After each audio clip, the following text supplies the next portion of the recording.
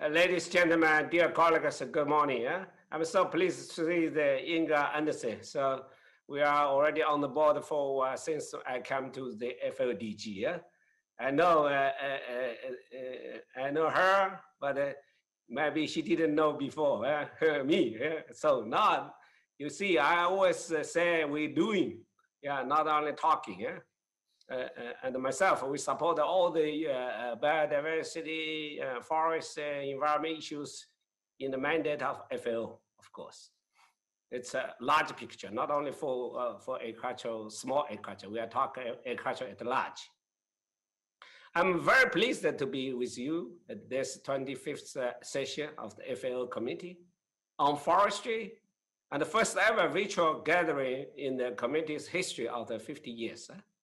This year, we celebrate the 75th anniversary of FAO, and a few days later, that of the United Nations itself. So we have to rethinking and redesign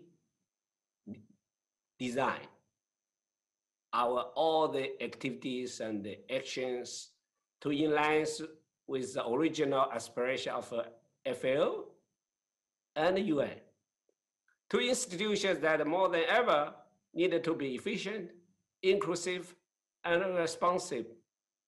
This is the reason that in the 14 months since I took office as a Director General of FAO, we put a special focus on building a modern, dynamic FAO that is fully aligned with its original vision and mandate. Of course, we wanted to build a more inclusive, with our sister organizations and key players and civil society, private sector, of course, more close to the ground in the members and the farmers. And of course, you can say forest people.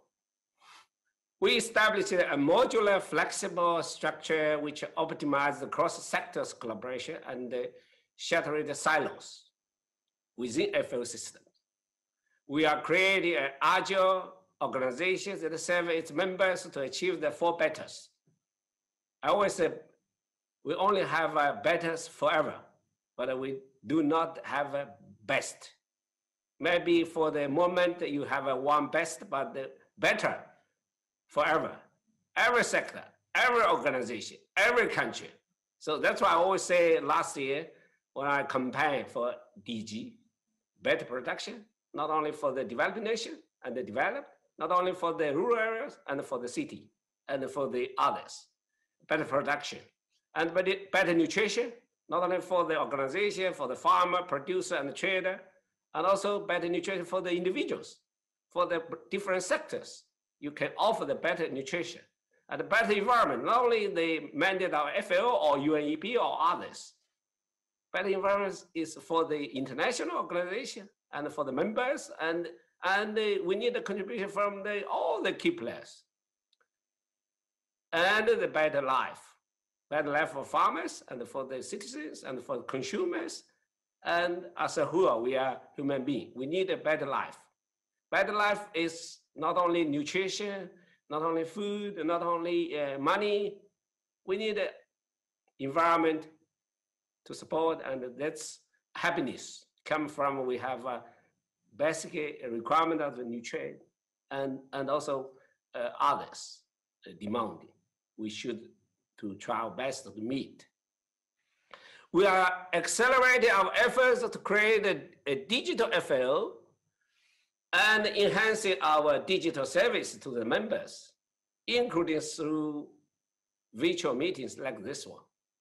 Yeah, uh, and of course, on the ground, we need a lot of service sometimes we have to keep a balance. But uh, for this pandemic, during this uh, special difficult time of pandemic, we can strengthen and uh, digital uh, uh, uh, approach and also depend on the digital world.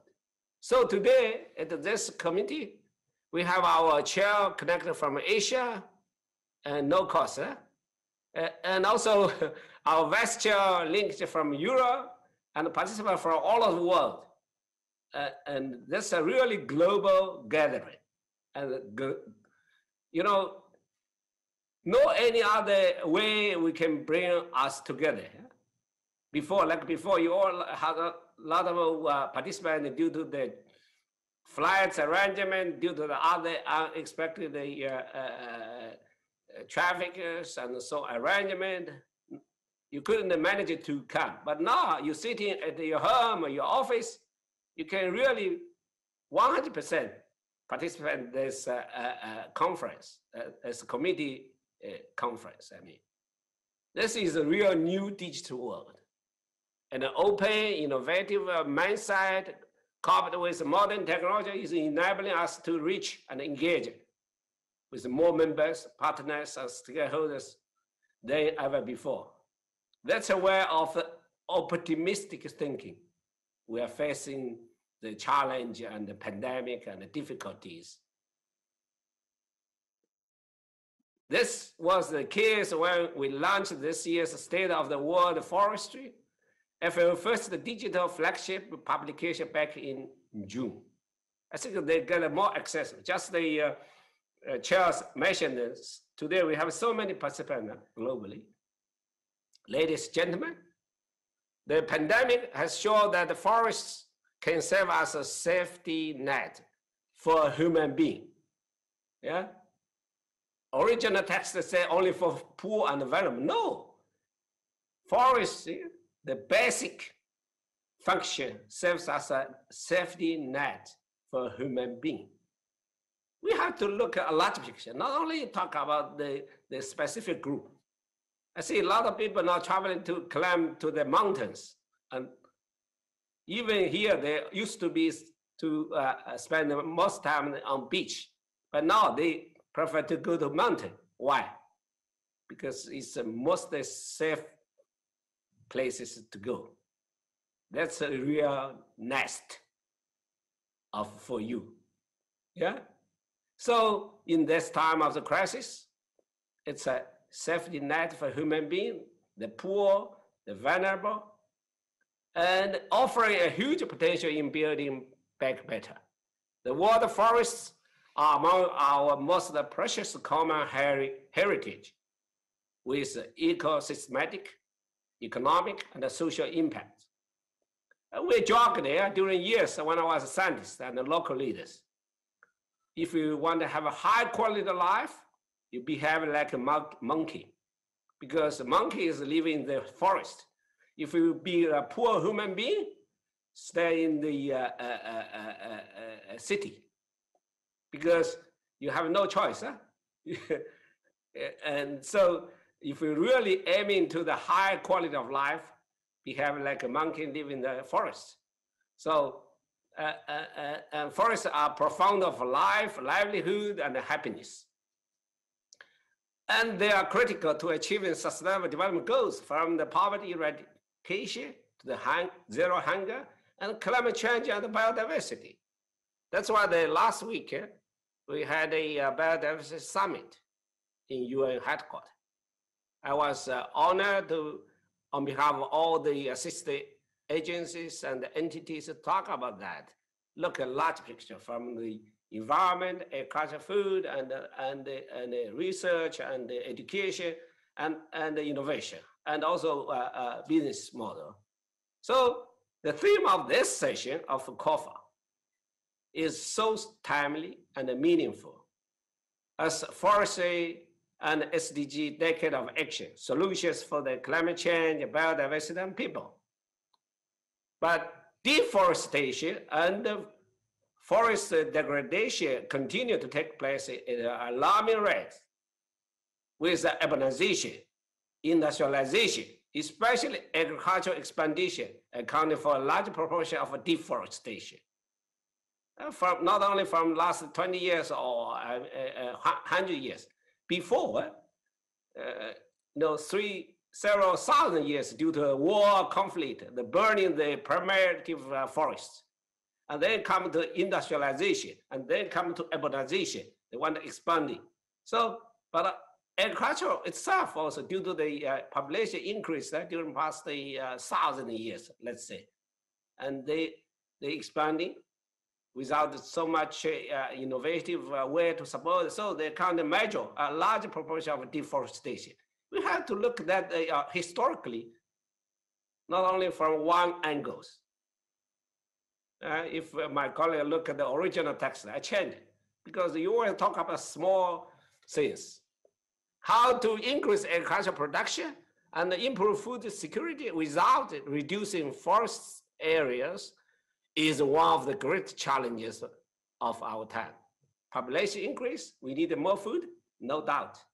But how to reducing and minimize the impact, impact. That's only solution we can deal with or we had to do best. Halting deforest, deforestation and scaling up the reforestation, therefore, must be central building block to the sustainable transformation of food systems. So we have to look at two sides of a coin. The original text from the forest department always talk about the hardy deforestation. What is about the scaling up reforestation? We have to think in the two, uh, two way or even uh, uh, three dimension way to deal with the challenges. FAO is proud of co-lead the UN system-wide efforts to turning the tide on the deforestation as requested by the UN Secretary General. We will hear more about this during this week, including high-level dialogue on deforestation tomorrow morning. And also, I know the uh, Madame Andersen, she has a lot of idea and suggestion and action plan on the road. So we will also hear how FAO, together with the UNDP and the UNEP, has been supporting over 60 countries in reducing deforestation and forest degradation through the UN REDD program. Our work on the forest law enforcement, governance, and trade help the countries combat illegal logging. We have to promote the trade in timber, which is sustainably produced by small-scale enterprises. FAO is also at the forefront of supporting the countries access and analyze big data on change happening to their forests and landscapes. For example, we developed a SEPAL, the system for the Earth observation data access, processing, and analysis for land monitoring. SEPAL is an innovative open source software which helps countries access the vast amount of data available via satellites at, at an increasingly high resolution. Today, it has more than 5,000 active users in 180 countries and territories. This collaborative work bears tangible results. FAO latest global forest resources assessment, launched in July, was the most accurate ever with many countries producing new data and considerably refining their monitoring and reporting on forests. Such improvements are critical to ensure the informed, effective decision-making on forests and land use. They are part of our focus on big data as a game changer. That is why we launched the hand-in-hand geospatial platform with a large and rich set of data on food, agriculture, socioeconomic, and natural resources to help strengthen evidence-based decision-making in the food and agriculture at large. Here, the agriculture includes all the sectors of, of uh, subtitle of the agriculture. And also, we it's a platform. The, the data ownership is uh, depend on the uh, uh individual entities. We didn't own on all those. We just offer the platform for them to, to, to, to, to, to make release and sharing with our users and members. The platform includes over 1 million geospatial layers and thousands of statistical cells on over 10 domains linked to food and agriculture, including forest, of course. That's why the uh, Ms. Madame Andersen knows that in US system, eh, always talk about the digital and the big, big data. But FAO already built that big data uh, uh, platform. So not only include the food and include all the uh, uh relevant uh, data. So this really not only for FAO and for relevant uh, system entities, also for, for the society globally. Yeah? Ladies and gentlemen, transform, transformational change is needed in the way we manage our forests and, uh, and their biodiversity, as well as how we produce and consume our foods. Yeah, F O O D S, not our food, our foods, and interact with uh, nature. There are clear links between deforestation, biodiversity loss, and climate change. To address these challenges, we need a stronger engagement with the forest sector to ensure the optimal health for people, animals, and the environment as part of a One Health approach. FAO Sustainable Wildlife Management Program is spearheading such efforts and at the same time strengthening wildlife management and enhance the food security of local communities. Investing in the sustainable forest supply chains and ecosystem restoration is effective in alleviating poverty, generating employment, and building back better. Improving the forest-based livelihood, prosperity, and human well-being is an aim of the forest and farm facility. With this facility, FAO is working with over 350 forest and farmer producer organizations, increase their access to the financial services, and integrate them to the value chains of the markets. More than 25 million people in the 30 countries have directly or indirectly benefited from this, including during the current COVID-19 pandemic. FAO has also helped to restore the productivity of degraded land and the livelihoods of local communities in the Sahara.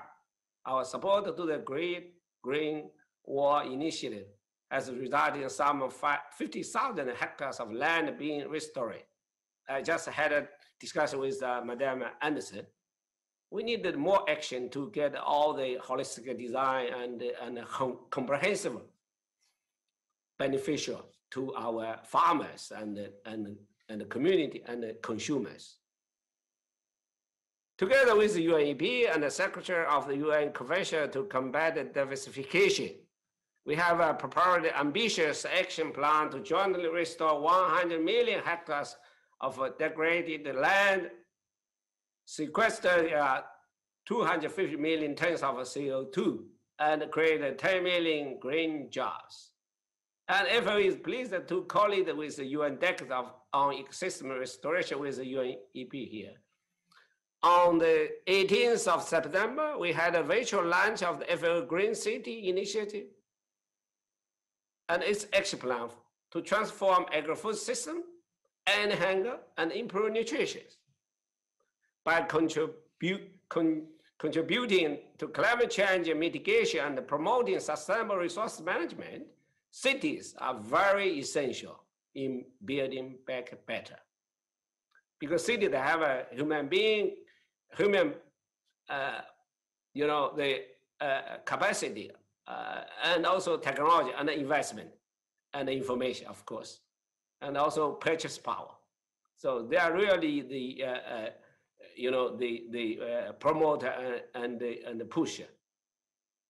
In 2050, 68 or 70% of the world population will be living in the cities, with 19% of the increase uh, occurring in Africa and Asia, which will lead to great opportunities and challenges. About 70% of our food supply is consumed by able dollars, and the number of that is steadily, steadily on the rise. Today, cities consume almost 80% of total energy produced in the world and are responsible for 70% of global waste. Cities also account about 7% of global energy-related greenhouse gas emissions.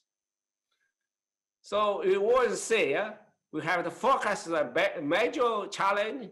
We have to visit all the major solutions. City is one of the real game changer and key player.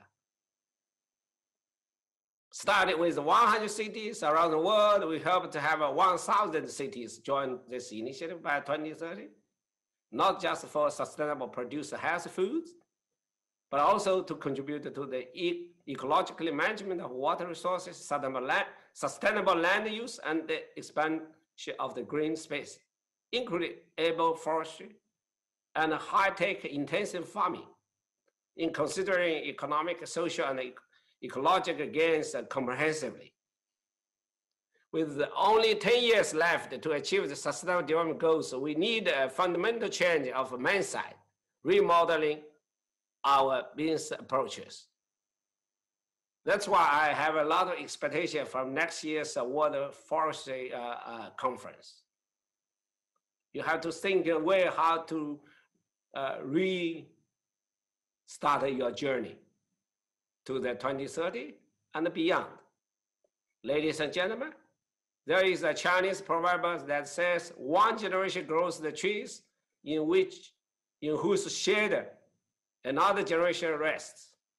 For the past five decades, COFO, COFO, has brought us together in identifying emerging forest policies, technical solutions, and appropriate actions to move ahead forward. In some way, this is akin to the planting trees by one generation for the next. I, I very much appreciate you as a forestry professional with big passion and a long commitment. Not like working the uh, crops. You need five years, you have a, a, visible and tangible result. For forest people, I know for breeding research and workers, you plant tree for one generation and uh, maybe some people will get a shedding after one generation or two. So that's a really long commitment. And the success of work today is crucial for the shaping a better tomorrow. We must scale up our actions to realize the potential of forest, fruit trees, food diversity, and others. We have defined more specifically what is forest meaning for the society not only talk forest forest because forest is a lot of meanings, different category. So we have to you know get all the uh, society realize what the forest means and what is close linkage with their life and their uh, environment. I encourage you not only to plant more trees, but also design more comprehensively and holistically.